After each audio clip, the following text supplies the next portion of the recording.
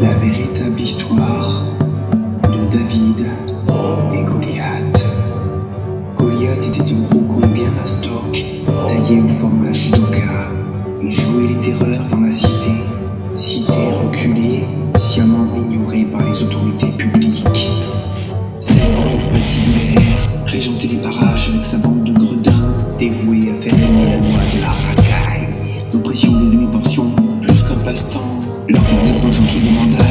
de droit à la tâche, des malades dominants.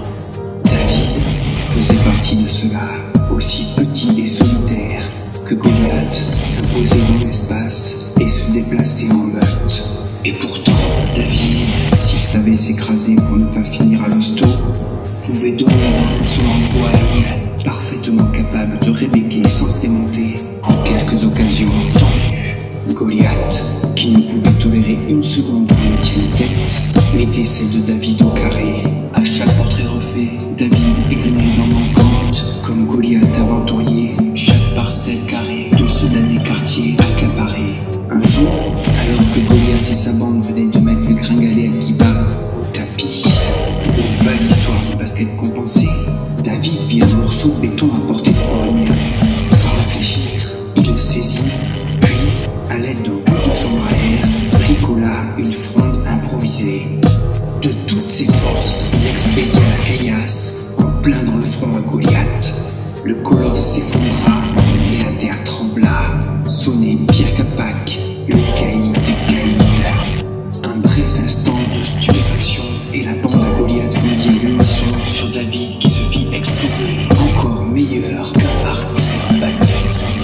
Tout en tanguant, Goliath se releva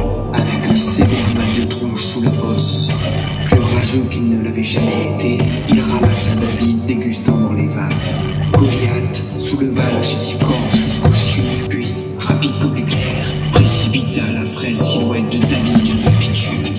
Squelette brisé, un son sordide, c'en était fait de David. Brûlu, Fissa largué dans une poubelle, son cadavre se fit boulotter par les rats. Tant et si bien rangé par les rongeurs, que même ses rares amis ne purent le reconnaître, quand sa dépouille faisant des fut découverte. Comme dans ce coin, faire grève est plus qu'une coutume pour les éboueurs, les restes du gringalet ne furent repêchés dans cette montagne de déchets. Au bout d'un trimestre entier, David ne ressemblait plus à rien, ou tout au plus à un bacon qui aurait pris la flotte. L'affaire, si tant est qu'on le considère comme tel,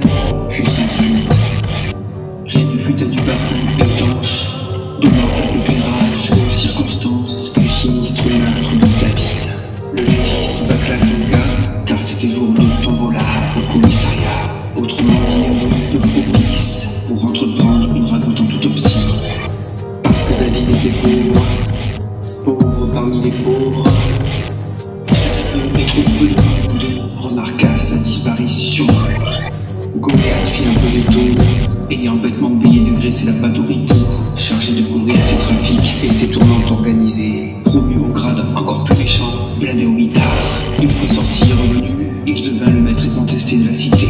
Ce fut là vraiment le début de son règne, sans partage, sans pitié, sans une once de culpabilité et encore moins d'humaine charité. Si je tenais à rétablir la vérité à propos de David et Goliath, c'est pour que vous sachiez que les ordures gagnent toujours.